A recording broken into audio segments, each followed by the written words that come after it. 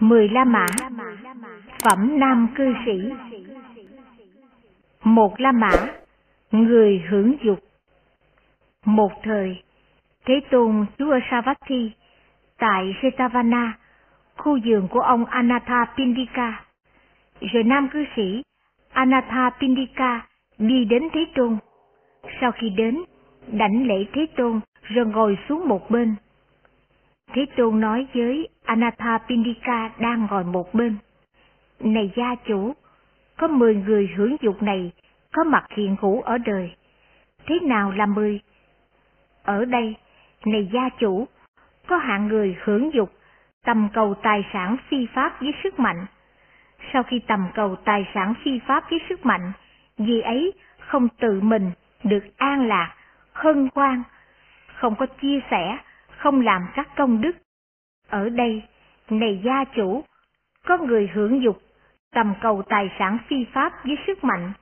Sau khi tầm cầu tài sản phi pháp với sức mạnh, vì ấy tự mình được an lạc, hân hoan, không có chia sẻ, không làm các công đức. Ở đây, này gia chủ, có hạng người hưởng dục, tầm cầu tài sản phi pháp với sức mạnh.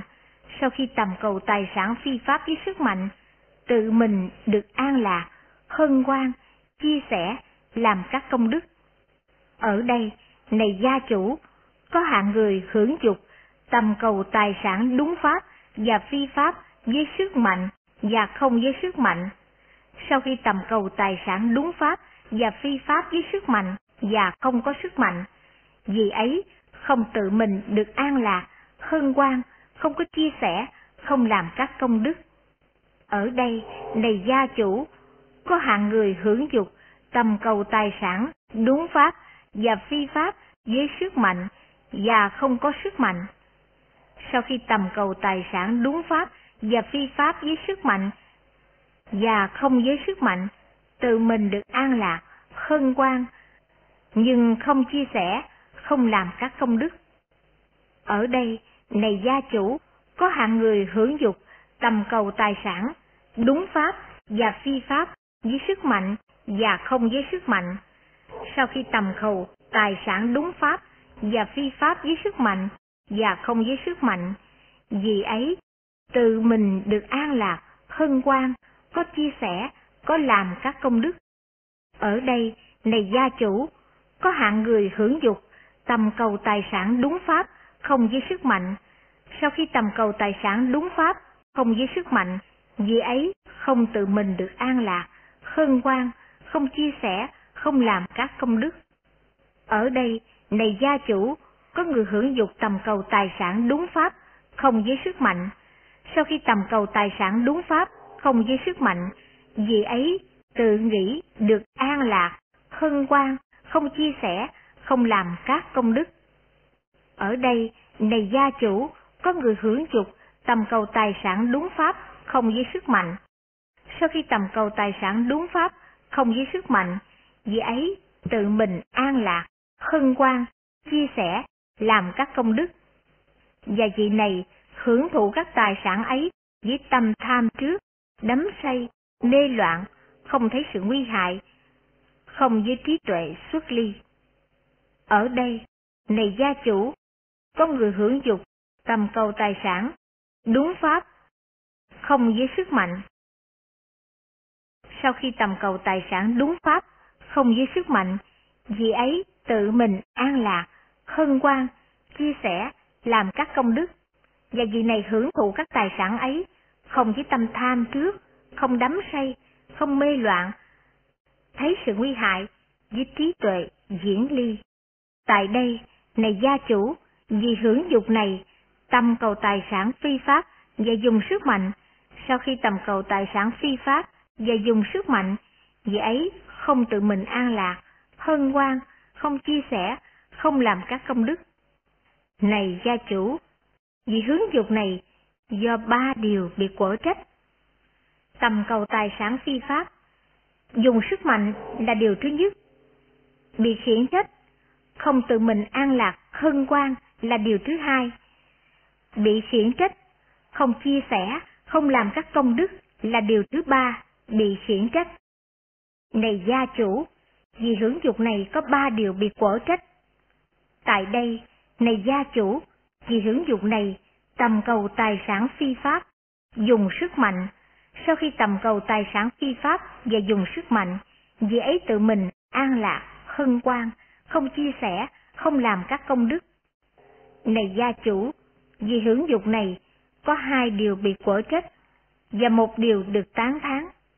Vì ấy, tâm cầu tài sản phi pháp và dùng sức mạnh, do điều thứ nhất này bị quở trách. Vì ấy, tự mình an lạc, hân hoan, do một điều này được tán thán. Vì ấy không sang sẻ, không làm các công đức, do điều thứ hai này bị chỉ trích. Vì hưởng dụng này, này gia chủ, có hai điều này bị chỉ trích, và một điều này được tán thán. Tại đây, này gia chủ, vì hưởng dục này, tầm cầu tài sản phi pháp và dùng sức mạnh. Sau khi tầm cầu tài sản phi pháp và dùng sức mạnh, vì ấy tự mình an lạc, hân hoan, san sẻ và làm các công đức.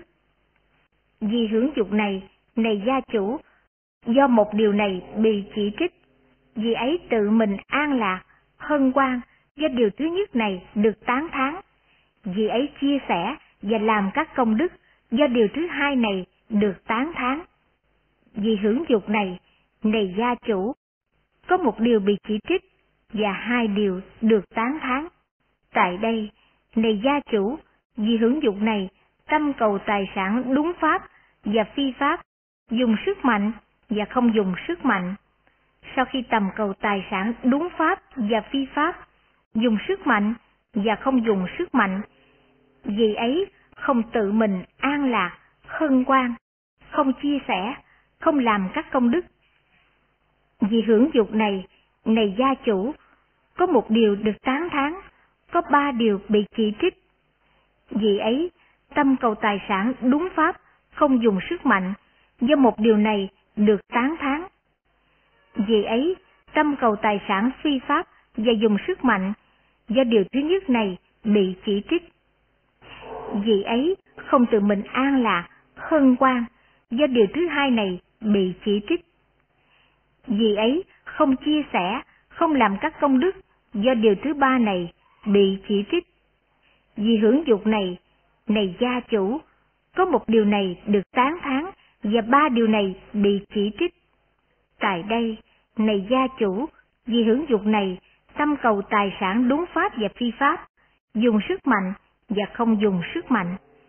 Sau khi tầm cầu tài sản đúng pháp và phi pháp, dùng sức mạnh và không dùng sức mạnh, dễ tự mình an lạc, hân hoan, không chia sẻ, không làm các công đức. Ngoài hưởng dục này, này gia chủ, có hai điều được tán thán và hai điều bị chỉ trích. Vì ấy, tầm cầu tài sản đúng pháp và không dùng sức mạnh, do điều thứ nhất này được tán thán. Vì ấy, tầm cầu tài sản phi pháp và dùng sức mạnh, do điều thứ nhất này bị chỉ trích. Vì ấy, tự mình an lạc hân hoan, do điều thứ hai này được tán thán. Vì ấy, không san sẻ, không làm các công đức, do điều thứ hai này bị chỉ trích. Vì hưởng dục này, này gia chủ, có hai điều này được tán thán và hai điều này bị chỉ trích. Tại đây, này gia chủ, người hưởng dục này tâm cầu tài sản đúng pháp và phi pháp, dùng sức mạnh và không dùng sức mạnh. Sau khi tầm cầu tài sản đúng pháp và phi pháp, dùng sức mạnh và không dùng sức mạnh, vì ấy tự mình an lạc, hân hoan, chia sẻ và làm các công đức. Vì hưởng dục này, này gia chủ, cả ba điều được tán thán và một điều bị chỉ trích. Dễ tầm cầu tài sản đúng pháp và không dùng sức mạnh, do điều thứ nhất này được tán thán. Dễ tầm cầu tài sản phi pháp và dùng sức mạnh, do điều thứ nhất này bị chỉ trích. Vì ấy tự mình an lạc, hân hoan, do điều thứ hai này được tán thán. Vì ấy chia sẻ và làm các công đức, do điều thứ ba này được tán thán. Vì hưởng dục này, này gia chủ, có ba điều này được tán thán, và một điều này bị chỉ trích. Tại đây, này gia chủ, vì hưởng dục này, tầm cầu tài sản đúng pháp và không đúng sức. Sau khi tầm cầu tài sản đúng pháp và không dùng sức mạnh, vì ấy tự mình an lạc, hân hoan, không chia sẻ và làm các công đức. Vì hưởng dục này, này gia chủ, có một điều được tán thán và hai điều bị chỉ trích.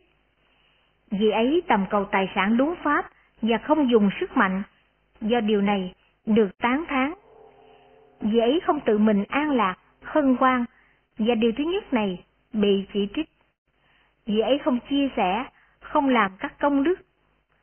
Do điều này bị chỉ trích.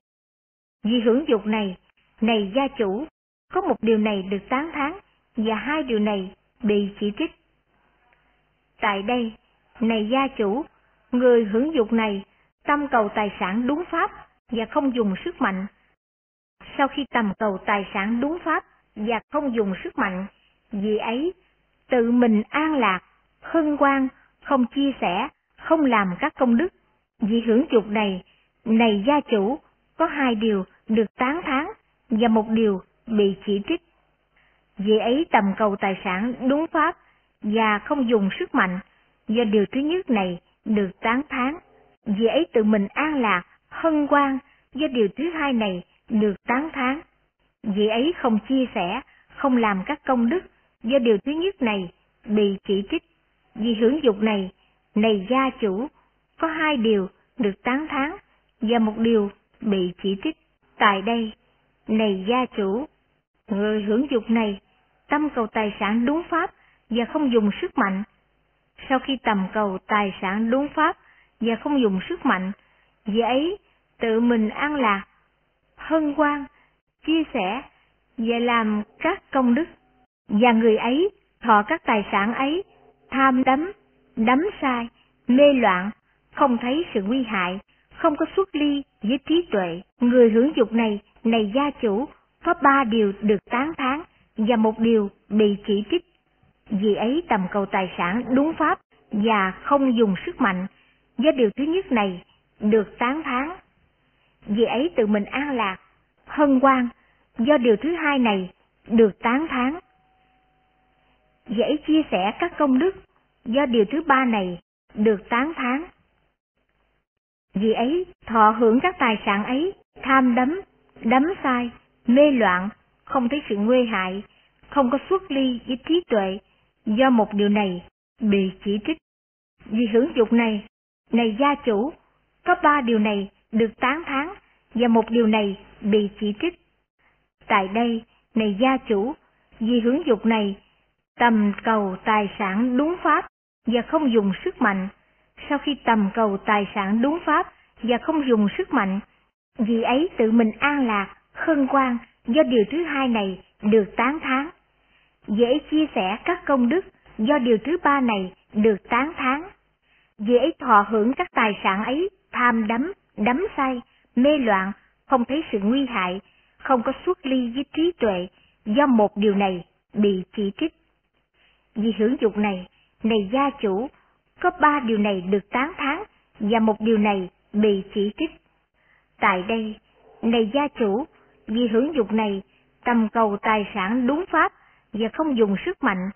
Sau khi tầm cầu tài sản đúng pháp và không dùng sức mạnh, vì ấy tự mình an lạc, hân hoan, chia sẻ và làm các công đức. Người ấy hưởng thọ các tài sản, không có tham đắm, không có đắm say, không có mê loạn, thấy được sự nguy hại, có xuất ly với trí tuệ. Vì hưởng dục này, này gia chủ, có bốn điều được tán thán. Vì ấy tầm cầu đúng pháp và không dùng sức mạnh, do điều thứ nhất này được tán thán. Vì ấy tự mình an lạc, hân quan, do điều thứ hai này được tán thán. Vì ấy chia sẻ và làm các công đức, do điều thứ ba này được tán thán. Vì ấy thọ hưởng các tài sản ấy, không tham đắm, không có đắm say, không có mê loạn, thấy được sự nguy hại và xuất ly với trí tuệ. Do điều này, được tán thán. Vì hưởng dục này, này gia chủ, có bốn điều này được tán thán. Này gia chủ, hạng mười người hưởng dục này có mặt hiện hữu ở đời. Trong mười hạng người hưởng dục này, này gia chủ, người hướng dục tầm cầu, tài sản, đúng pháp, dùng sức mạnh, sau khi tầm cầu tài sản đúng pháp, không dùng sức mạnh, vì ấy tự mình an lạc, hân hoan, chia sẻ, làm các công đức, hưởng thọ các tài sản, không tham đắm, không đắm say, không mê loạn, thấy được sự nguy hại, có xuất ly với trí tuệ. Trong mười hạng người hưởng dục này, hạng người này là tối thượng, là tối thắng, là thượng thủ, là vô thượng, là tối tôn. Ví như, này gia chủ, từ con bò có sữa, từ sữa có lạc, từ lạc có sanh tô, từ sanh tô có thuộc tô, từ thuộc tô có tinh túy của thuộc tô, đề hô, tinh túy thuộc tô được xem là tối thượng ở đây. Cũng vậy, này gia chủ, trong mười hạng người hưởng dục này, vì hưởng dục này, tầm cầu tài sản đúng pháp và không dùng sức mạnh. Sau khi tầm cầu tài sản đúng pháp và không mượn, đọc lại, sau khi tầm cầu tài sản đúng pháp và không dùng sức mạnh, vì ấy tự mình an lạc, hân hoan, chia sẻ và làm các công đức, thọ hưởng các tài sản ấy, không tham đắm, không đắm sai, không mê loạn, thấy được sự nguy hại, có xuất ly với thế gian, hạng người này là tối thượng, tối thắng, thượng thủ, vô thượng và tối cao. Hai La Mã, sợ hãi và hận thù. Bây giờ, có gia chủ Anathapindika đi đến Thế Tôn. Thế Tôn nói với gia chủ Anathapindika đang ngồi xuống một bên. Này gia chủ, khi nào vị thánh đệ tử làm cho lắng dịu năm sợ hãi hận thù, thành tựu bốn chi phần, dự lưu, khéo thấy, khéo thể nhập, thành lý với trí tuệ. Nếu dễ muốn, có thể tự trả lời với mình rằng, ta đã đoạn tận địa ngục, ta đã đoạn tận bàn sanh, ta đã đoạn tận ngạ quỷ, ta đã đoạn tận các cõi chữ ác thú, đọa xứ. Ta chứng được dự lưu, không còn bị đọa lạc, quyết chắc thú cánh, được giác ngộ. Thế nào là năm sợ hãi, hận thù, được làm cho lắng chịu Này gia chủ, sát sanh, do duyên sát sanh tạo ra sợ hãi hận thù ngay trong hiện tại, tạo ra sợ hãi hận thù ngay trong tương lai, khiến tâm cảm thọ khổ u.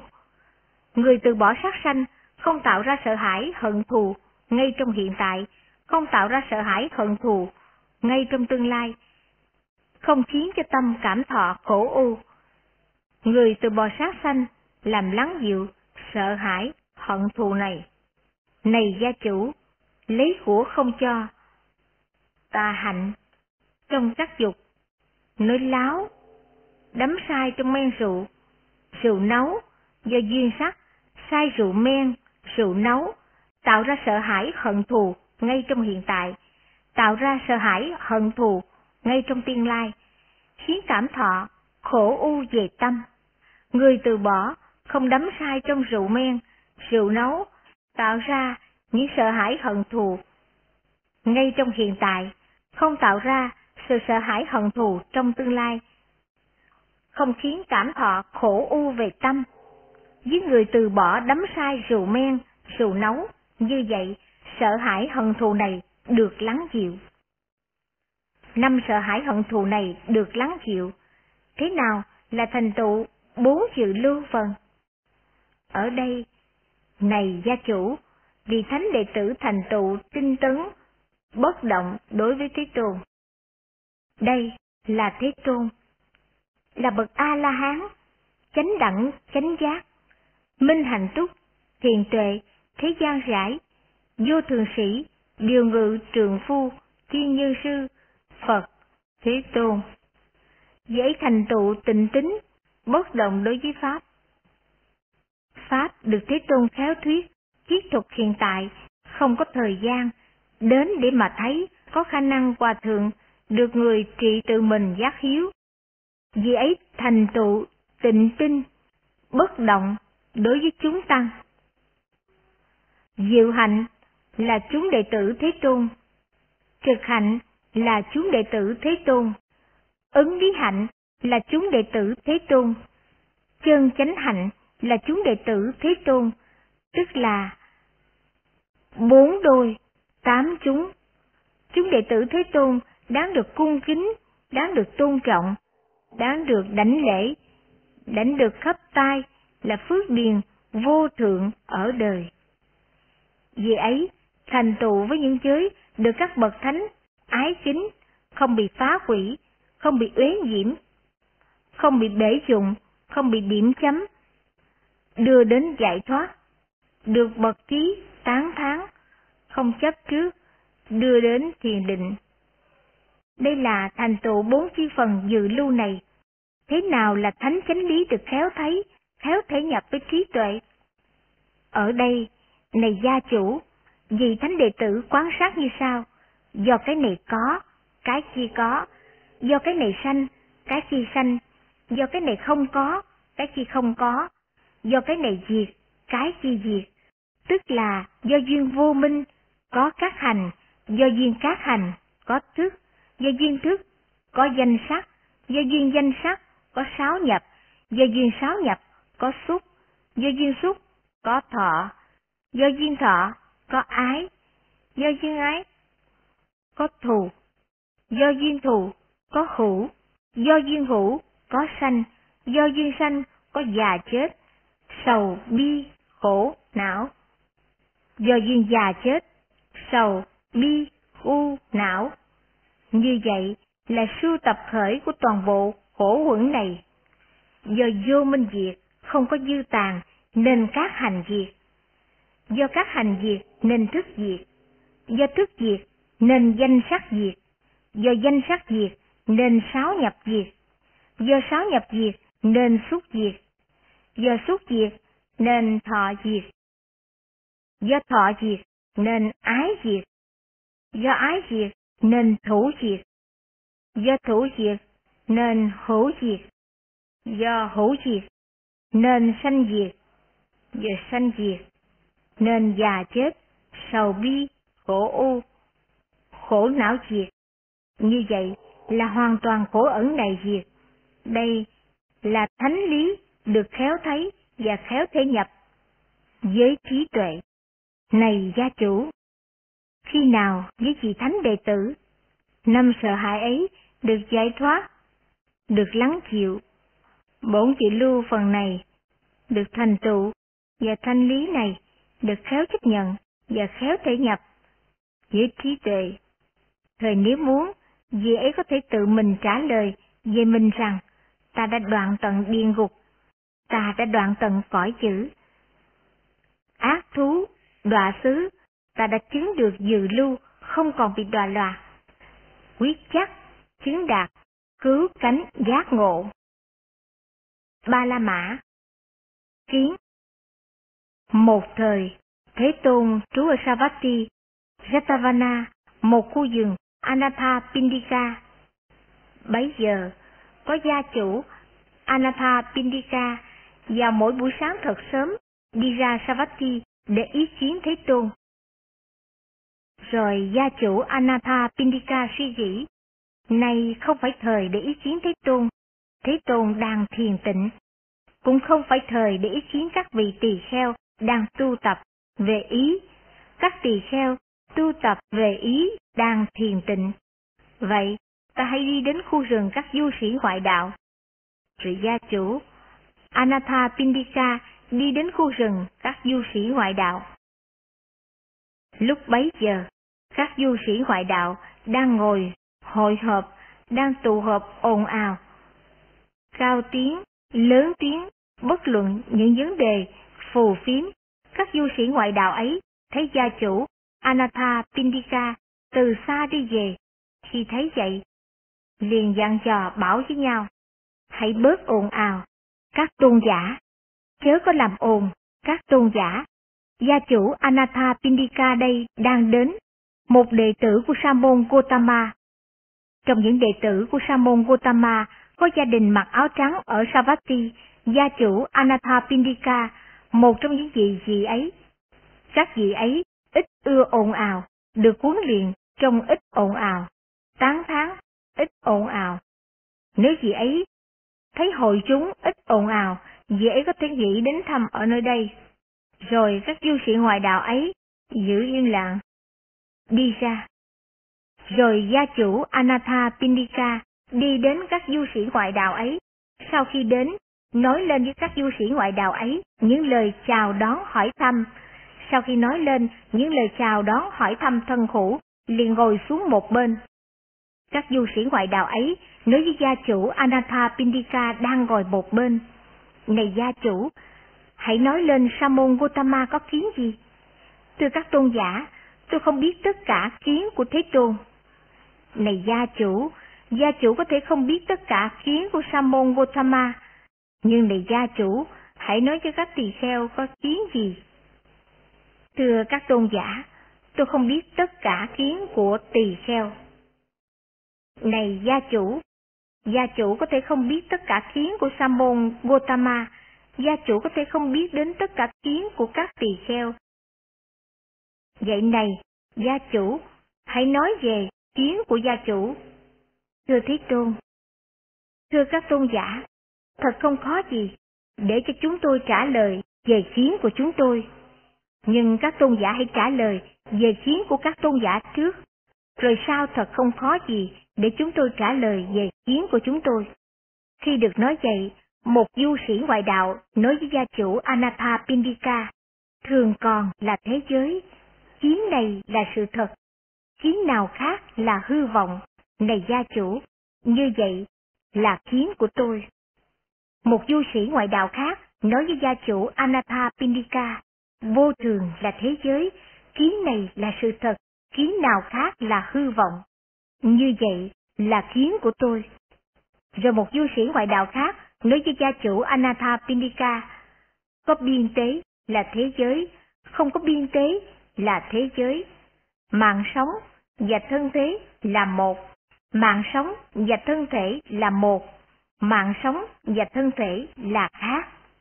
Như Lai có tồn tại sau khi chết, Như Lai không tồn tại sau khi chết. Như Lai có tồn tại và không có tồn tại sau khi chết. Như Lai không có tồn tại và không không tồn tại sau khi chết. Kiến này là sự thật, kiến nào khác là hư vọng. Này gia chủ, như vậy là kiến của tôi. Khi nghe nói vậy, gia chủ Anatha Pindika nói với các du sĩ ngoại đạo ấy, thưa các tôn giả, tôn giả nào nói như sau, thường còn là thế giới, kiến này là sự thật, kiến nào khác là hư vọng. Này gia chủ, như vậy là kiến của tôi. Kiến này của tôn giả ấy, hoặc nhân tự mình tác ý không hợp lý, hay do duyên nghe tiếng người khác nói, kiến như vậy, kiến ấy như vậy, được sanh, được tác thành, khổ vi, do tâm suy tư, do duyên khởi lên. Và cái gì được sanh, được tác thành, do tâm tư duy, do tâm suy tư, do duyên khởi lên, cái ấy là vô thường. Cái gì vô thường, cái ấy là khổ. Cái khổ ấy, tôn giả chấp trước dính vào. Cái khổ ấy, tôn giả chấp nhận. Thưa các tôn giả, tôn giả nào nói như sau? Vô thường là thế giới này, có biên tế là thế giới này, không biên tế là thế giới này. Sinh mạng và thân thể là một, sinh mạng và thân thể là khác. Như Lai có tồn tại sau khi chết, Như Lai không tồn tại sau khi chết. Như Lai không có tồn tại và không không tồn tại sau khi chết. Kiến này là sự thật, kiến nào khác là hư vọng. Này gia chủ, như vậy là kiến của tôi. Kiến này của tôn giả ấy, hoặc nhân tự mình tác ý không hợp lý, hoặc do duyên nghe tiếng người khác nói. Kiến như vậy, được sanh, được tác thành, do tâm suy tư, do duyên khởi lên. Và cái gì được sanh, được tác thành, do tâm suy tư, do duyên khởi lên, cái ấy là vô thường. Cái gì là vô thường? cái gì vô thường, cái ấy là khổ, cái khổ ấy tôn giả chấp trước, cái khổ ấy tôn giả chấp nhận. Khi được nói vậy, các du sĩ ngoại đạo ấy nói với gia chủ Anatha Pindika, Này gia chủ, tất cả kiến của chúng tôi đã được nói lên. Này gia chủ, hãy nói lên kiến của gia chủ là gì? Thưa các tôn giả, phàm cái gì được sanh, được tác thành, do tâm suy tư, do duyên được khởi lên, cái ấy là vô thường. Cái gì vô thường, cái ấy là khổ. Cái gì khổ, cái ấy là cái này không phải của tôi, cái này không phải là tôi, cái này không phải tự ngã của tôi. Tôi có kiến như vậy, thưa các tôn giả, này gia chủ, phàm cái gì được sanh, được tác thành, do tâm suy tư, do duyên được khởi lên, cái ấy là vô thường. Cái gì vô thường, cái ấy là khổ. Cái gì khổ, cái ấy, này gia chủ. Gia chủ lại chấp trước. Cái ấy, này gia chủ, gia chủ lại chấp nhận. Thưa các tôn giả, phàm cái gì được sanh, được tác thành, do tâm suy tư, do duyên được khởi lên, cái ấy là vô thường. Cái gì vô thường, cái ấy là khổ. Cái gì khổ, cái ấy là cái này không phải của tôi, cái này không phải là tôi, cái này không phải tự ngã của tôi. Như vậy là như thật, khéo thấy với chánh trí tuệ. Và từ nơi khổ ấy, tôi như thật rõ biết sự xuất ly hơn thế nữa. Khi nghe nói như vậy, các du sĩ ngoại đạo ấy ngồi im lặng, hoang mang, thuộc dai, cúi đầu, sững sờ, không nói nên lời. Rồi gia chủ Anathapindika, sau khi biết các du sĩ ngoại đạo ấy im lặng, hoang mang, thuộc dai, cúi đầu, sững sờ, không nói lên lời, từ chỗ ngồi đứng dậy, đi đến Thế Tôn. Sau khi đến, đảnh lễ Thế Tôn rồi ngồi xuống một bên, ngồi xuống một bên, gia chủ Anathapindika, câu chuyện với các du sĩ ngoại đạo ấy như thế nào, thuộc lại tất cả cho Thế Tôn rõ. Lành thay, lành thay, này gia chủ, như vậy, này gia chủ, những kẻ ngu si ấy thường cần phải được bác bỏ với sự khéo bác bỏ nhờ chánh pháp, rồi Thế Tôn với một bài pháp thuyết giảng, khích lệ, làm cho phấn khởi, làm cho quan hỷ gia chủ Anatha Pindika. Rồi gia chủ Anatha Pindika sau khi được Thế Tôn với bài pháp thuyết giảng, khích lệ, làm cho phấn khởi, làm cho quan hỷ, từ chỗ ngồi đứng dậy, đảnh lễ Thế Tôn, thân bên hữu, hướng về Ngài, rồi ra đi. Rồi Thế Tôn, sau khi gia chủ Anatha Pindika ra đi không bao lâu, bảo với các vị, tỳ kheo, tỳ kheo nào? Dầu đã được đầy đủ một trăm năm an cư mùa mưa trong Pháp và luật này, vị ấy cần phải như vậy. Thường thường bác bỏ các du sĩ ngoại đạo với sự khéo bác bỏ nhờ chánh pháp như gia chủ Anatha Pindika đã khéo bác bỏ. Bốn La Mã Vaji Zamahita Một thời, Thiết Tôn trú ở Kapa, trên bờ sông ao Gagara, rồi gia chủ Vaji Zamahita vào buổi sáng sớm đi ra khỏi Kapa đến ý kiến Thế Tôn. Rồi gia chủ Vajijamahita suy nghĩ, này không phải thời để ý kiến Thế Tôn, Thế Tôn đang thiền tịnh, cũng không phải thời để ý kiến các tỳ kheo đang tu tập về ý. Các tỳ kheo đang tu tập về ý, đang thiền tịnh, vậy hãy đi đến khu vườn của du sĩ ngoại đạo. Rồi gia chủ Vajijamahita đi đến khu vườn của các du sĩ ngoại đạo. Lúc bấy giờ, các du sĩ ngoại đạo đang ngồi hội họp, đang tụ họp, ồn ào, cao tiếng, lớn tiếng, bàn luận những vấn đề phù phiếm. Các du sĩ ngoại đạo ấy thấy gia chủ Vajramahita từ xa đi đến. Khi thấy vậy, liền dặn dò bảo với nhau, hãy bớt ồn ào, các tôn giả, chớ làm ồn, các tôn giả. Gia chủ Vajramahita đang đến, một đệ tử của Sa môn Gotama. Trong những đệ tử của Sa môn Gotama có gia đình mặc áo trắng ở Kapa. Gia chủ Vajramahita là một trong những vị ấy. Các vị ấy ưa ít ồn ào, được huấn luyện trong ít ồn ào, tán thán ít ồn ào. Nếu vị ấy thấy hội chúng ít ồn ào, vị ấy có thể nghĩ đến thăm ở đây. Rồi các du sĩ ngoại đạo ấy giữ im lặng. Rồi gia chủ Vajramahita đi đến các du sĩ ngoại đạo ấy. Sau khi đến, nói lên với các du sĩ ngoại đạo ấy những lời chào đón hỏi thăm. Sau khi nói lên những lời chào đón hỏi thăm thân hữu, liền ngồi xuống một bên. Các du sĩ ngoại đạo ấy nói với gia chủ Vajrasamahita đang ngồi một bên. Có đúng sự thật này chăng gia chủ? Sa môn Gotama chỉ trích mọi khổ hạnh, nhất hướng bài bác, chống đối mọi khổ hạnh, mọi nếp sống kham khổ. Thưa các tôn giả, Thế Tôn không chỉ trích mọi khổ hạnh, không nhất hướng bài bác chống đối mọi khổ hạnh, mọi nếp sống kham khổ. Thưa các tôn giả, Thế Tôn chỉ trích cái gì đáng chỉ trích, tán thán cái gì đáng tán thán.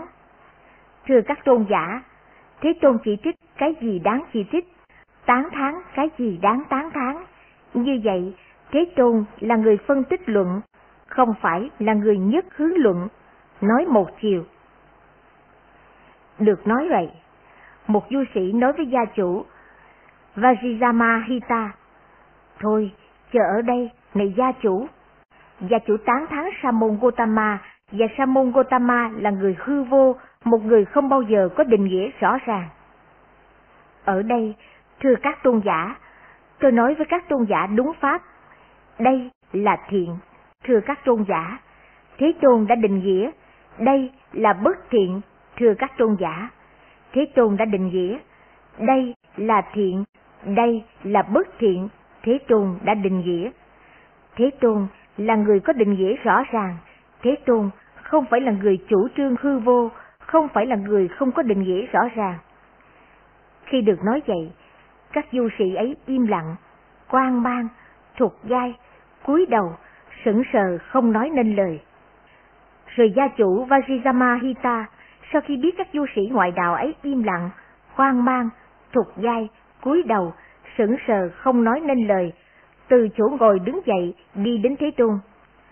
Sau khi đến, đảnh lễ Thế Tôn, rồi ngồi xuống một bên. Ngồi xuống một bên, gia chủ Vajrayama Hita câu chuyện với các du sĩ ngoại đạo ấy như thế nào, tất cả đều thuật lại cho Thế Tôn rõ. Lành thay, lành thay, này gia chủ, những kẻ ngu si ấy thường thường cần phải được bác bỏ với sự khéo bác bỏ nhờ chánh pháp. Này gia chủ, ta không nói rõ ràng, tất cả khổ hạnh cần phải hành trì. Này gia chủ, ta cũng không nói rằng tất cả khổ hạnh không nên hành trì. Này gia chủ, ta cũng không nói rằng tất cả sự chấp trì cần phải được chấp trì. Này gia chủ, ta cũng không nói rằng tất cả sự chấp trì không nên chấp trì. Này gia chủ, ta cũng không nói rằng tất cả sự tinh cần cần phải tinh cần. Này gia chủ, ta cũng không nói rằng tất cả sự tinh cần không nên tinh cần. Này gia chủ, ta cũng không nói rằng tất cả sự từ bỏ nên từ bỏ. Này gia chủ, ta cũng không nói rằng tất cả sự từ bỏ không nên từ bỏ. Này gia chủ, ta cũng không nói rằng tất cả sự giải thoát nên giải thoát. Này gia chủ, ta cũng không nói rằng tất cả sự giải thoát không nên giải thoát.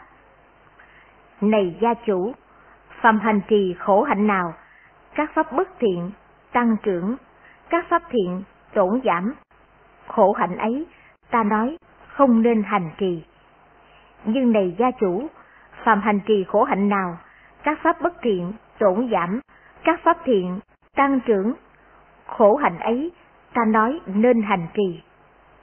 Này gia chủ, phàm chấp hành chấp trì nào, các pháp bất thiện tăng trưởng, các pháp thiện tổn giảm, chấp trì ấy ta nói không nên chấp hành. Phàm chấp hành chấp trì nào, các pháp bất thiện tổn giảm, các thiện pháp tăng trưởng, thời chấp hành ấy ta nói nên chấp trì. Này gia chủ, phàm tinh cần nào được tinh tấn, các pháp bất thiện tăng trưởng, các pháp thiện tổn giảm, thời tinh cần ấy ta nói rằng không nên tinh tấn. Phàm tinh cần nào được tinh tấn, các pháp bất thiện tổn giảm, các pháp thiện tăng trưởng, thời tinh cần ấy ta nói nên tinh tấn. Này gia chủ, phàm từ bỏ, từ bỏ nào, các pháp bất thiện tăng trưởng, các pháp thiện tổn giảm, thời từ bỏ ấy. Ta nói không nên từ bỏ. Phàm từ bỏ, từ bỏ nào, các pháp bất thiện tổn giảm, các pháp thiện tăng trưởng, thời từ bỏ ấy, ta nói nên từ bỏ. Này gia chủ, phàm giải thoát, sự giải thoát nào, các pháp bất thiện tăng trưởng, các thiện pháp tổn giảm, thời giải thoát ấy, ta nói không nên giải thoát. Phàm giải thoát, giải thoát nào, các pháp bất thiện tổn giảm, các pháp thiện tăng trưởng, thời giải thoát ấy, ta nói nên giải thoát. Rồi gia chủ Vajira Mahita sau khi được Thế Tôn với một pháp thoại thuyết giảng, khích lệ, làm cho phấn khởi, làm cho khoan hỷ, từ chỗ ngồi đứng dậy, đảnh lễ Thế Tôn, thân binh hữu, hướng diện gài rồi ra đi. Rồi Thế Tôn, sau khi gia chủ Vajrayama Hita ra đi không bao lâu, bảo các tỳ kheo.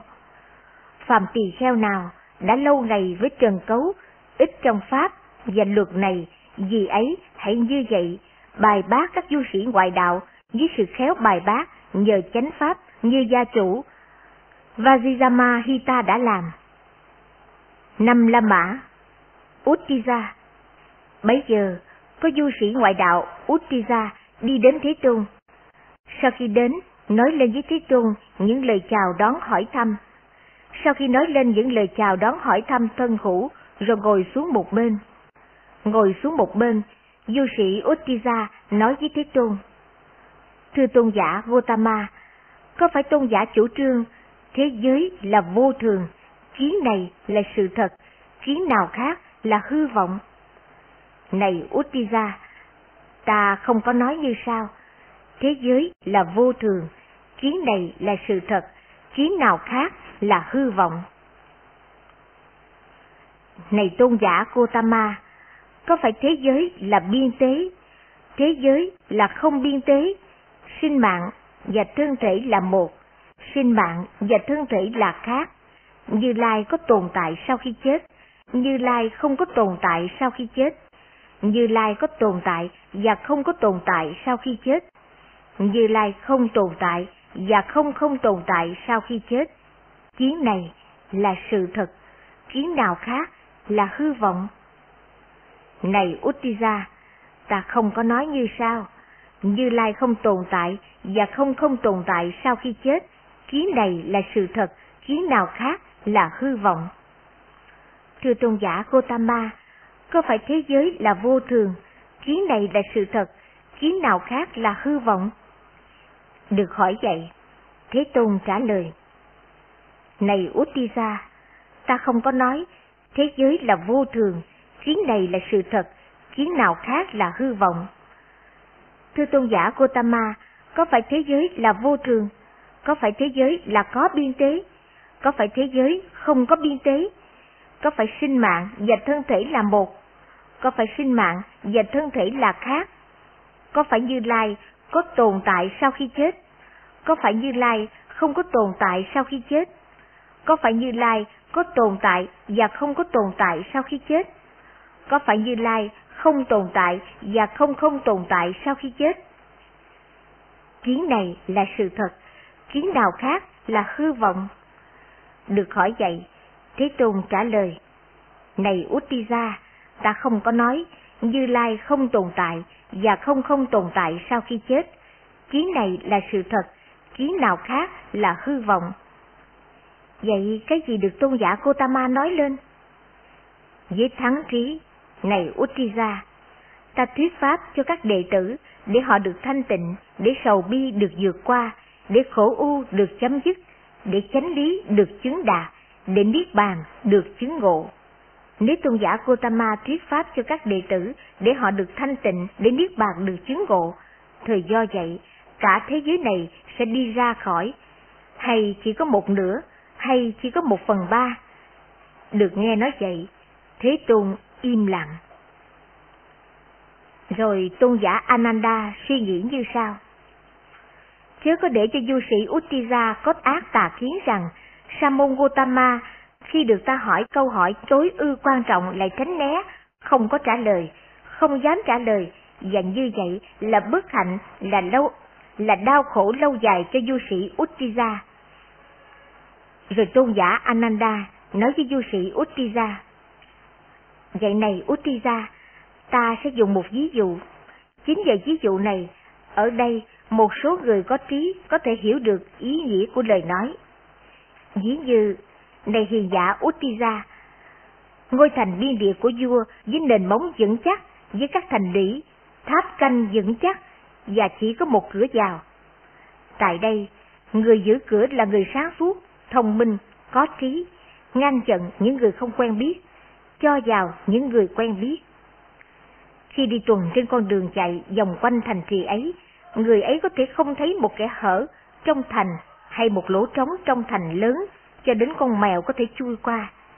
Người ấy có thể không biết được từng ấy loài hữu tình đã đi vào hay đi ra thành này, nhưng điều này nó biết. Những loài hữu tình thu lớn nào đi vào hay đi ra thành này, tất cả chúng phải đi vào hay đi ra ngang qua cửa thành này. Cũng vậy, này hì giả Uttija, đối với Như Lai không phải là một vấn đề. Câu hỏi này của thầy là có phải toàn thế giới do vậy được thoát ra khỏi, hay nửa phần thế giới, hay một phần ba? Những điều Như Lai nói là như sau. Những ai đã được thoát ra thế giới, hay đang được thoát ra, hay sẽ được thoát ra, tất cả những gì ấy sau khi đoạn tận năm triền cái, những pháp làm ô nhiễm tâm, làm yếu ớt trí tuệ.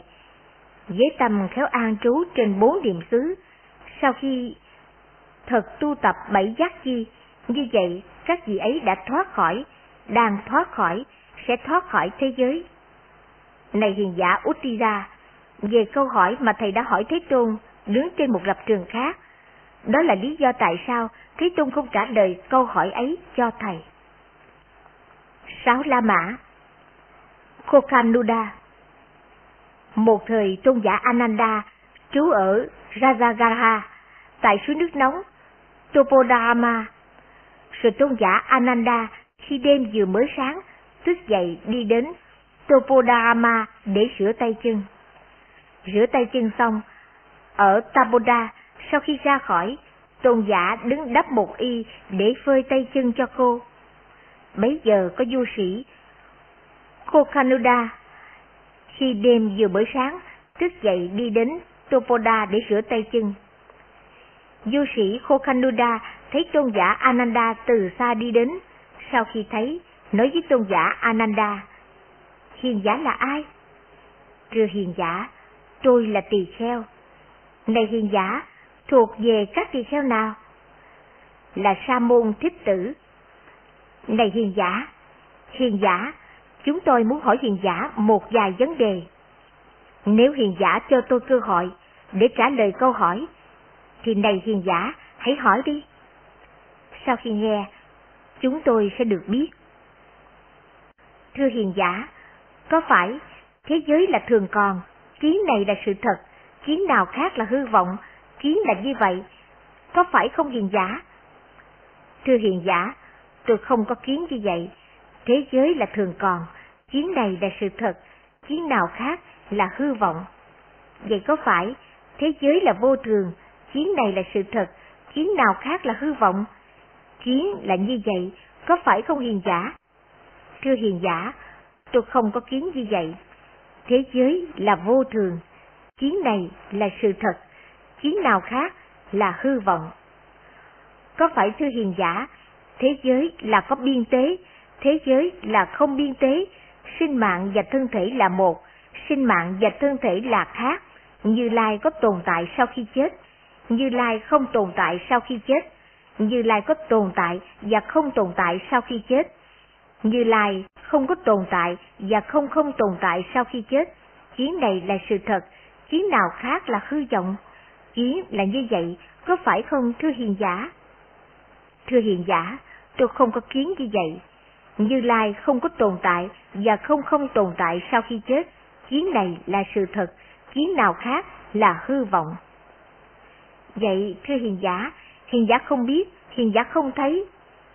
Thưa hiền giả, không phải tôi không biết, không phải tôi không thấy. Thưa hiền giả, tôi có biết, tôi có thấy. Có phải thưa hiền giả, thế giới là thường còn, kiến này là sự thật, kiến nào khác là hư vọng? Được hỏi vậy, hiền giả nói, thưa hiền giả, tôi không có kiến như vậy, thế giới là thường còn. Kiến này là sự thật, kiến nào khác là hư vọng. Có phải thưa hiền giả, thế giới là vô thường, kiến này là sự thật, kiến nào khác là hư vọng? Thế giới là có biên tế, thế giới là vô biên, sinh mạng và thân thể là một, sinh mạng và thân thể là khác.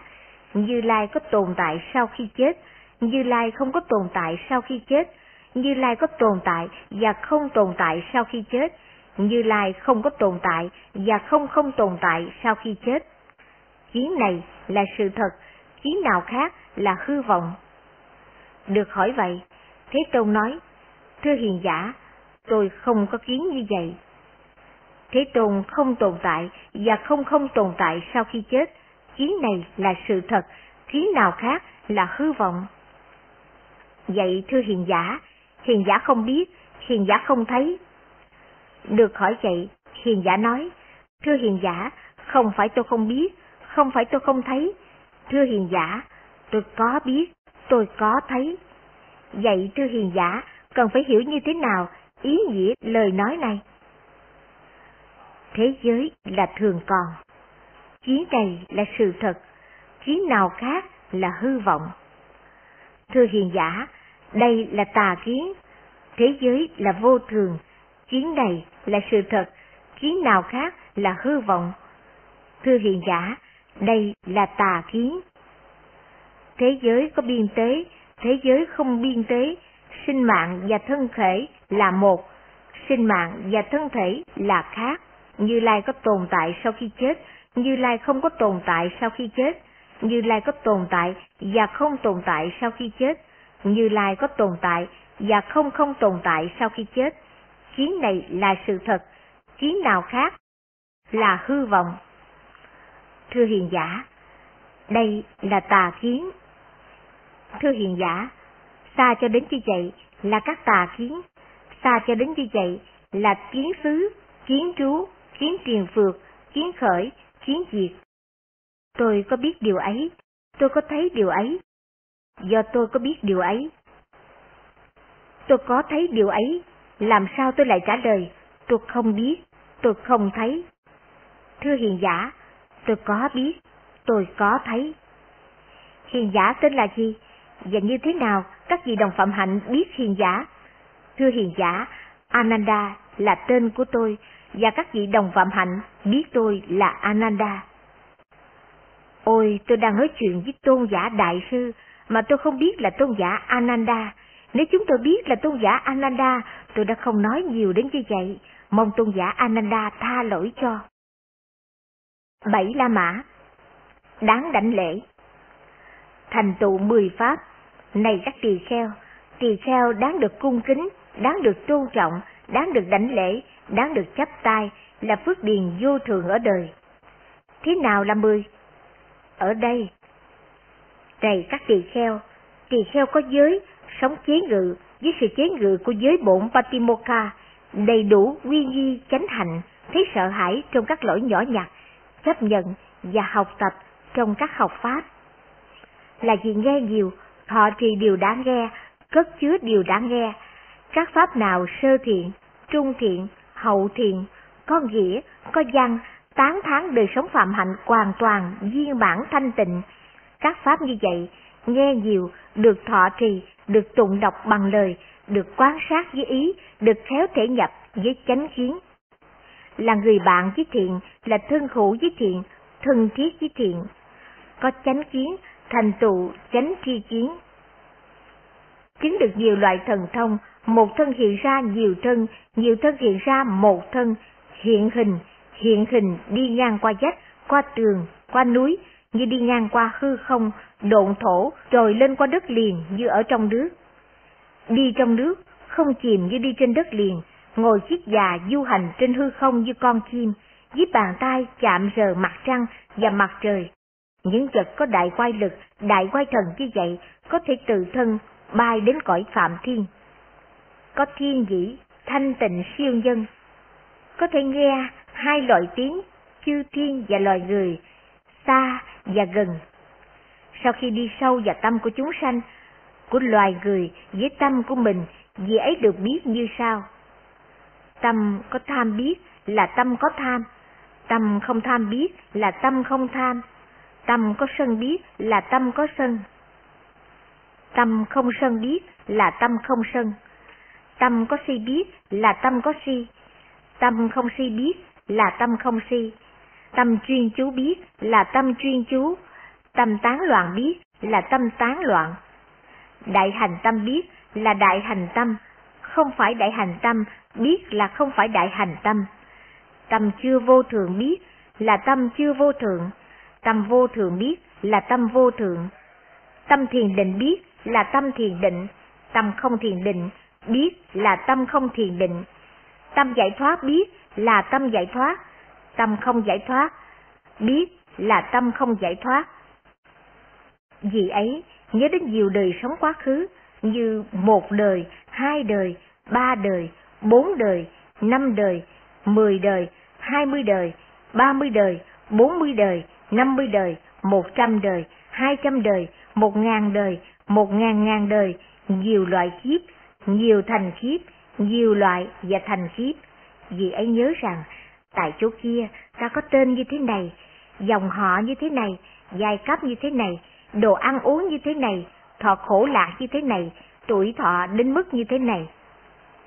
Sau khi chết tại chỗ kia, ta được sanh tại chỗ nọ, tại chỗ ấy ta có tên như thế này, dòng họ như thế này, giai cấp như thế này, đồ ăn như thế này, thọ khổ lạc như thế này, tuổi thọ đến mức như thế này.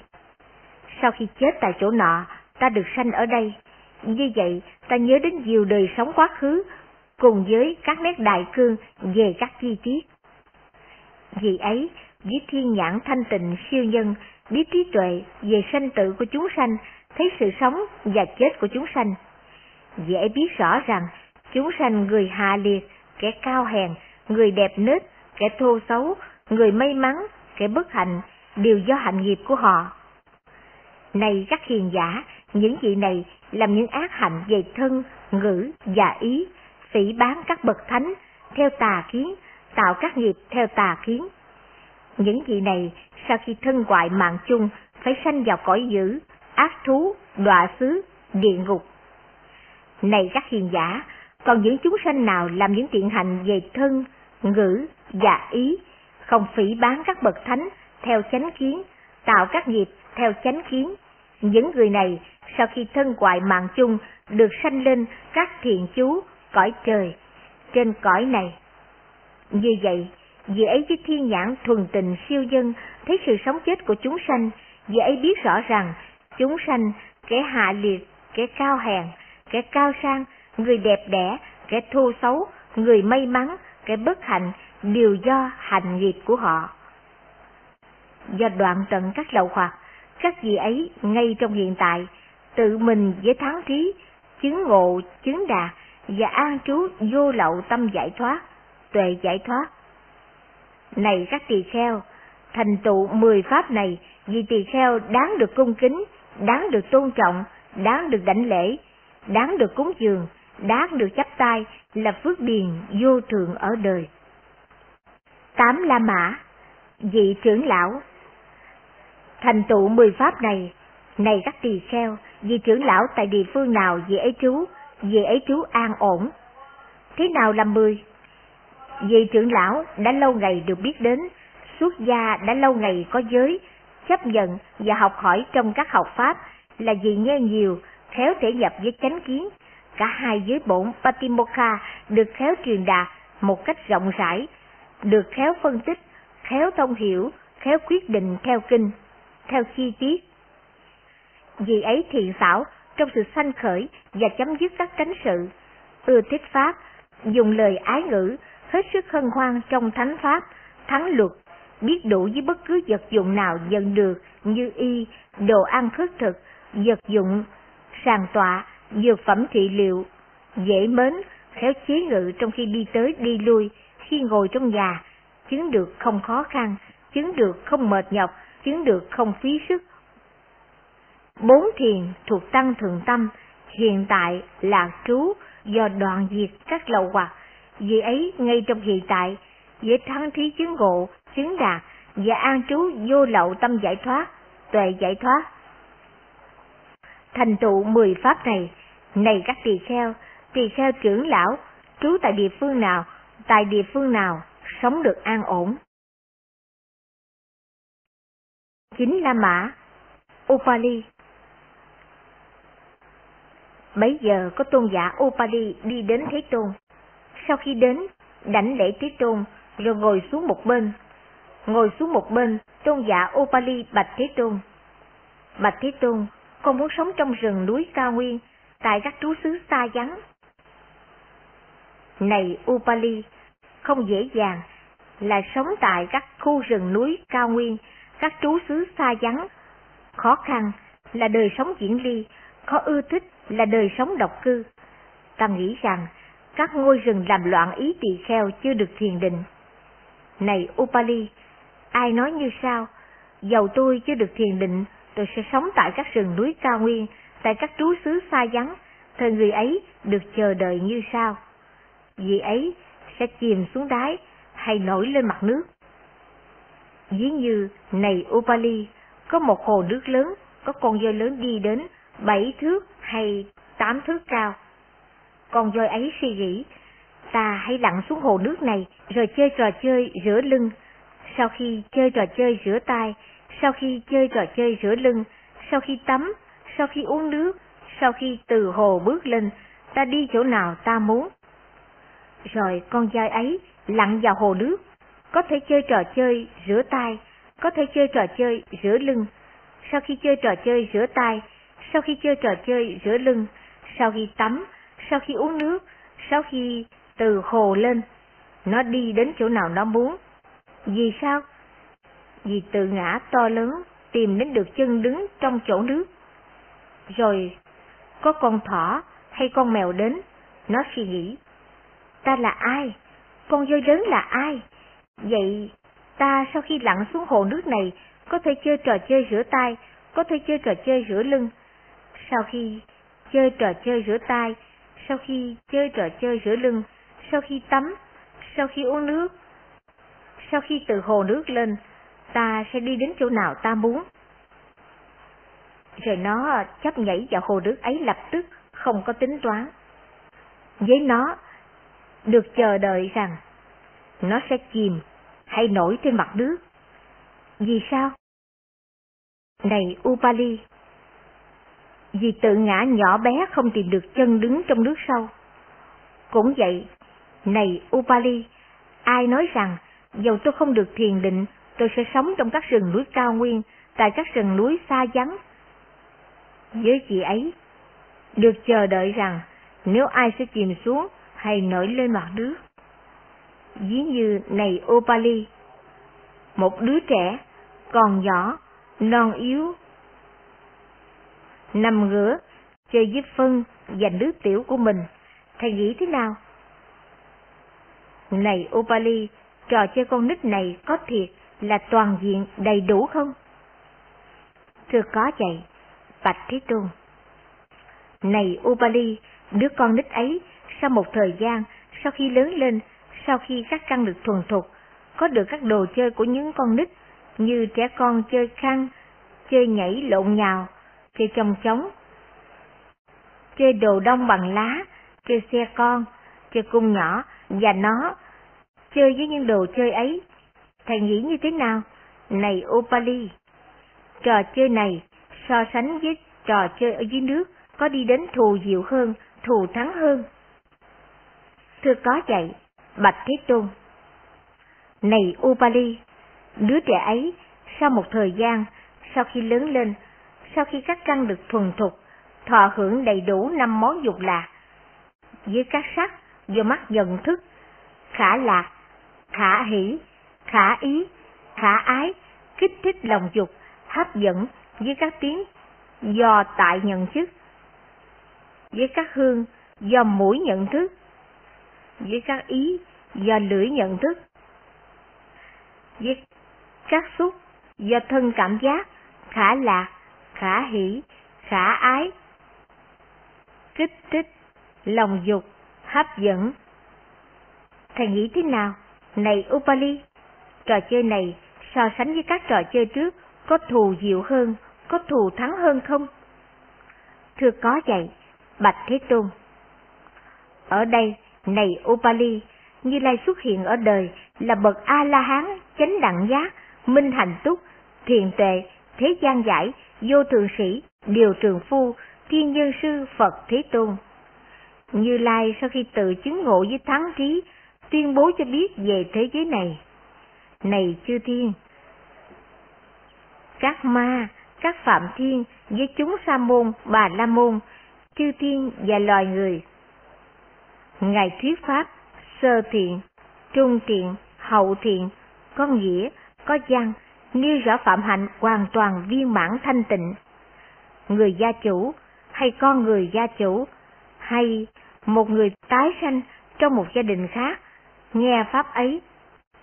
Sau khi nghe pháp, dễ sanh lòng tin vào Như Lai, dễ thành tựu với lòng tin ấy, suy xét như sau.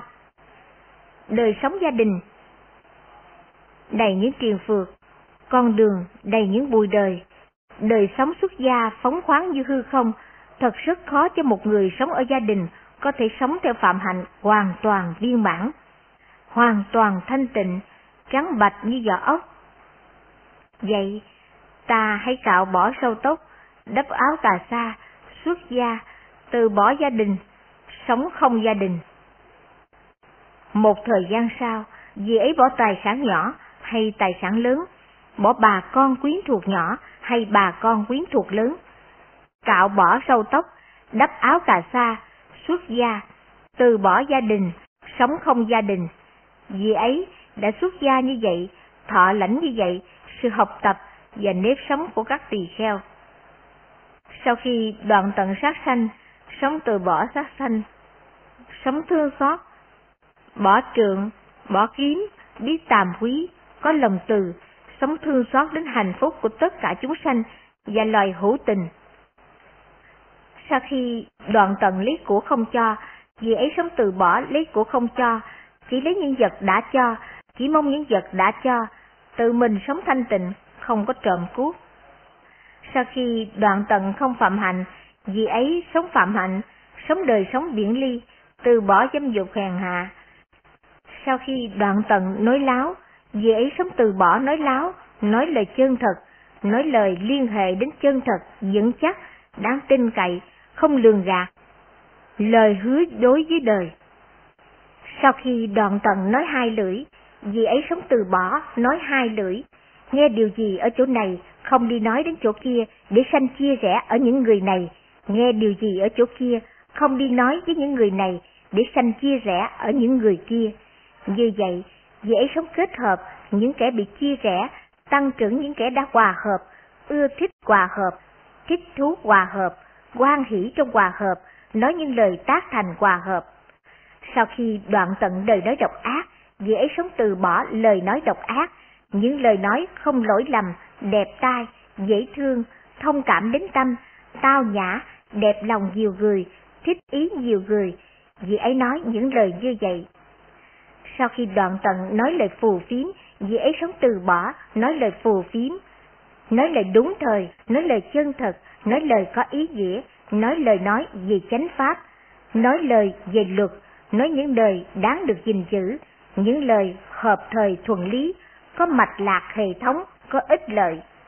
Vì ấy sống từ bỏ làm hại các hột giống và các loài cây cỏ, dùng mỗi ngày một bữa, từ bỏ ăn ban đêm, từ bỏ ăn phi thời, từ bỏ đi xem múa, hát, nhạc, diễn kịch, từ bỏ trang sức bằng dòng hoa, hương liệu, dầu thoa và các thời trang, từ bỏ dùng giường cao và giường lớn, từ bỏ nhận vàng và bạc, từ bỏ nhận các hạt sống, từ bỏ nhận thịt sống, từ bỏ nhận đàn bà, con gái, từ bỏ nhận nô tỳ gái và trai, từ bỏ nhận cừu và dê, từ bỏ nhận gia cầm và heo, từ bỏ nhận voi, bò, ngựa và ngựa cái, từ bỏ nhận ruộng nương, đất đai, từ bỏ việc phái người làm môi giới hoặc tự mình làm môi giới, từ bỏ buôn bán, từ bỏ các sự gian lận bằng cân, tiền bạc và đo lường, từ bỏ các tà hạnh như hối lộ, gian trá, lừa đảo, từ bỏ làm thương tổn, sát hại, câu thúc, bức đoạt, trộm cắp, cướp phá.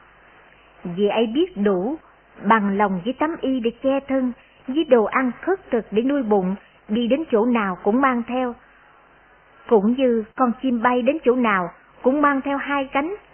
Cũng vậy, vì ấy bằng lòng với tấm y để che thân, với đồ ăn khất thực để nuôi bụng, đi đến chỗ nào cũng mang theo, vì ấy thành tựu, với thành tựu giới uẩn ấy, nội tâm cảm thọ sự an lạc, không có phạm lỗi.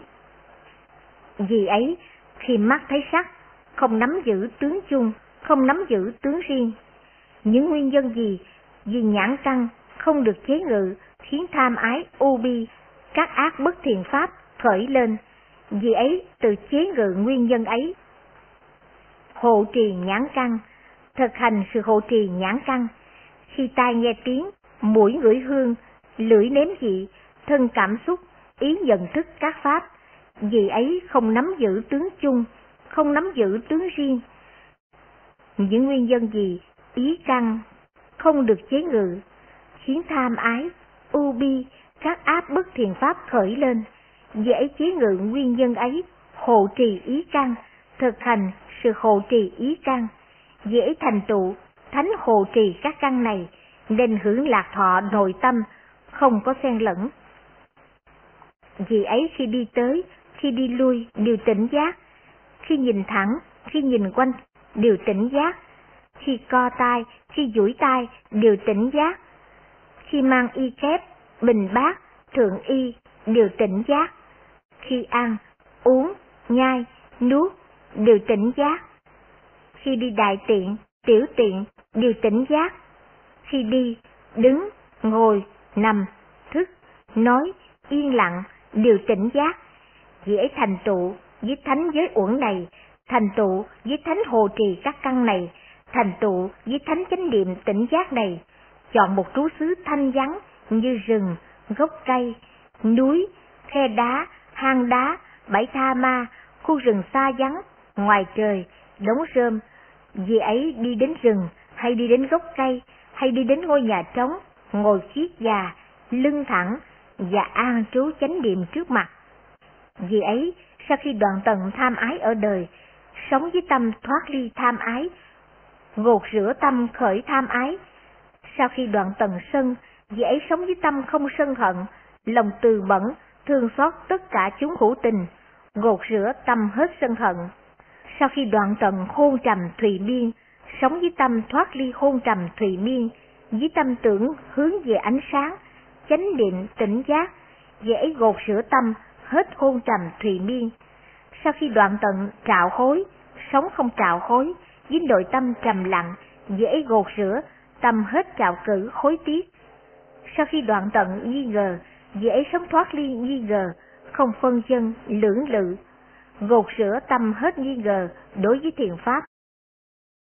Vì ấy, sau khi đoạn tận năm truyền cái này, những pháp làm uế nhiễm tâm, làm hèn yếu trí tuệ, ly dục, ly các pháp bất thiện, chứng đạt và an trú thiền thứ nhất. Một trạng thái hỷ lạc do ly dục sanh, có tầm, có tứ. Vì sao? Này Upali, có phải sự an trú này sánh với các sự an trú khác được thù diệu hơn, thù thắng hơn? Thưa có vậy, Bạch Thế Tôn. Này Upali, các đệ tử của ta thấy được pháp này trong tự ngã, sống tại các rừng núi cao nguyên, các trú xứ xa vắng, cho đến khi mục đích của mình chưa đạt, thời họ dẫn trú tại các chỗ ấy. Hay như mục đích của mình chưa đạt, tức là định chưa đạt, thời không sống trong rừng núi cao nguyên tại các trú xứ xa vắng. Lại nữa, này Upali, tỳ kheo làm cho tịnh chỉ, tầm và tứ, chứng đạt và an trú thiền thứ hai. Thầy nghĩ thế nào? Này Upali, có phải sự an trú này sánh với những an trú trước được thù diệu hơn, được thù thắng hơn?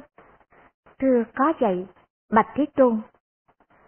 Này Upali, các đệ tử của ta, khi quán thấy Pháp này trên từ ngã, họ mới đến ở các rừng núi cao nguyên, các trú xứ xa vắng, họ sẽ không trú nếu mục đích của mình chưa đạt được. Lại nữa, này Upali, tỳ kheo ly hỷ, chứng và trú thiền thứ ba, thầy nghĩ thế nào? Này Upali, có phải sự an trú này sánh với những an trú trước được thù diệu hơn, được thù thắng hơn? Thưa có vậy, Bạch Thế Tôn. Này Upali, các đệ tử của ta, khi quán thấy Pháp này trên tượng ngã, họ mới đến ở các rừng núi cao nguyên, trú xứ xa vắng, họ sẽ không trú nếu mục đích của mình chưa đạt được. Lại nữa, này Upali, tỳ kheo đoạn lạc, chứng đạt và an trú thiền thứ tư, thầy nghĩ thế nào? Này Upali chưa đạt được. Lại nữa, này Upali, tỳ kheo vượt qua các sắc tưởng một cách hoàn toàn, chấm dứt các tưởng đối ngại, không tác ý đến các tưởng sai biệt, nghĩ rằng hư không là vô biên, chứng đạt và an trú không vô biên xứ. Thầy nghĩ thế nào, này Upali? Mục đích của mình chưa đạt được. Lại nữa, này Upali, tỳ kheo vượt qua một cách hoàn toàn, không vô biên xứ, nghĩ rằng thức là vô biên. Chứng đạt và an trú trước vô biên xứ. Thầy nghĩ thế nào, này Upali? Mục đích của mình chưa đạt được. Lại nữa, này Upali, tỳ kheo vượt qua một cách hoàn toàn thức vô biên xứ, nghĩ rằng không có sở hữu, chứng đạt và an trú vô sở hữu xứ. Thầy nghĩ thế nào, này Upali? Mục đích của mình chưa đạt được. Lại nữa, này Upali, tỳ kheo vượt qua một cách hoàn toàn, vô sở hữu xứ, nghĩ rằng đây là tịch tịnh, đây là thù diệu, chứng đạt và an trú phi tưởng, phi phi tưởng xứ. Thầy nghĩ thế nào, này Upali? Có phải sự an trú này sánh với các an trú trước được thù diệu hơn, được thù thắng hơn? Thưa có vậy, Bạch Thế Tôn, mục đích của mình chưa đạt được.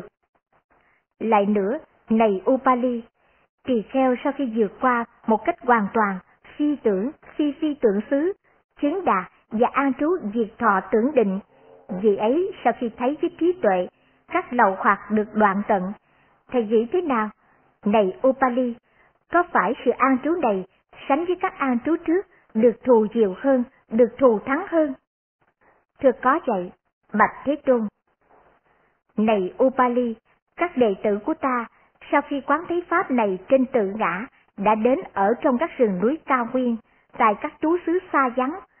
Họ không trú nếu mục đích của mình chưa đạt được. Vậy này Upali, thầy hãy sống giữa chúng tăng, sống giữa chúng tăng, thầy sẽ được an ổn. Mười La Mã, không thể tăng trưởng. Này các tỳ kheo, không đoạn tận mười pháp này, không có thể chứng ngộ quả A-la-hán. Thế nào là mười? Tham, sân, si, phẫn nộ, hiềm hận, dèm pha, não hại, tật đố, sang tham, mạng. Không đoạn tận mười pháp này. Này các tỳ kheo, không có thể chứng ngộ quả A-la-hán. Đoạn tận mười pháp này, này các tỳ kheo, có thể chứng ngộ quả A-la-hán. Thế nào là mười? Tham, sân, si, phẫn nộ, hiềm hận, dèm pha, não hại, cật đố, sang tham, mạng. Đoạn tận mười pháp này, này các tỳ kheo, có thể chứng ngộ quả A-la-hán.